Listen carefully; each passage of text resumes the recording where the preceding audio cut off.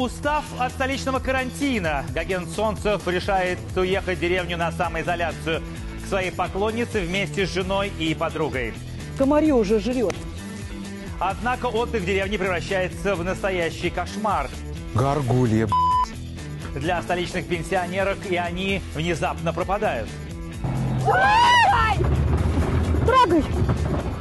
Что стало причиной исчезновения женщин? И может ли к этому быть причастна новая муза шоумена? Все подробности в прямом эфире. Андрей Малахов.